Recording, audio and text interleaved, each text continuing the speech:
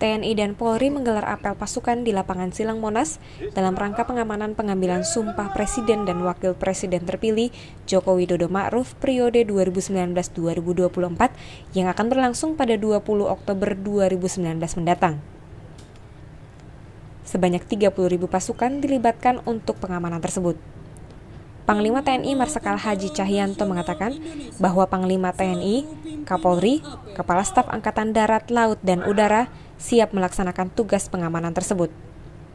Kegiatan pengamanan ini bertujuan untuk memberikan rasa aman dan nyaman kepada masyarakat, serta suksesnya pelantikan Presiden dan Wakil Presiden Republik Indonesia.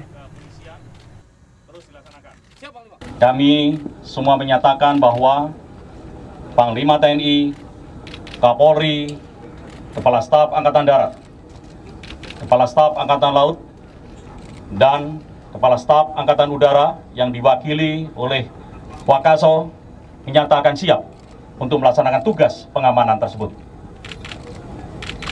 Pengamanan mulai dilaksanakan hari ini, pasukan insert ke wilayah-wilayah sesuai dengan tanggung jawabnya.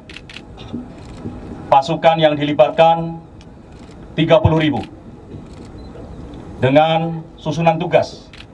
Ring 1 dilaksanakan dan di bawah tanggung jawab Pas Pampres.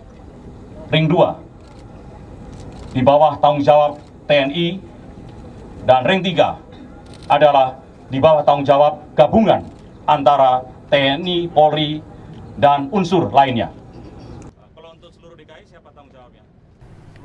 Dari Jakarta, Tim Liputan Tribrata TV, Salam Tribrata.